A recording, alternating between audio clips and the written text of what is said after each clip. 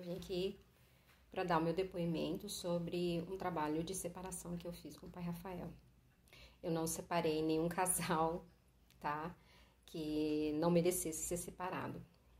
Eu separei alguém que estava atrapalhando a minha vida, porque eu tenho um relacionamento de quatro anos e já estava doente porque essa pessoa não nos deixa em paz e atrapalha mesmo, ela não deixa ele em paz. Mas, enfim, eu procurei o pai Rafael no final do mês de julho, muito nervosa, muito desesperada, porque o meu relacionamento já é de quatro anos e essa pessoa não estava dando sossego. Já fiz trabalhos de separação com outras pessoas, mas que não surgiram o efeito. Hum, não o efeito que eu esperava.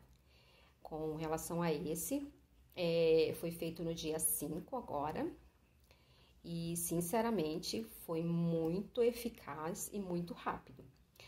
Porque em menos de 10 dias ele mesmo chegou até mim e falou que ela não queria mais saber dele, que ela queria que ele se afastasse dela, ela ia se afastar dele e bloqueou ele em todas as redes sociais e não estão tendo mais contato.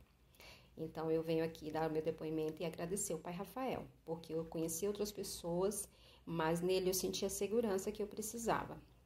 E com certeza confio nele, na espiritualidade dele, sou muito grata de coração e vou ser eternamente grata a eles. E com certeza vou estar fazendo outros trabalhos com ele, por, porque eu consegui ver nele a confiança que eu não, não vi em outras pessoas. Ele é, é simples, e mas ele é uma pessoa que sabe o que está fazendo.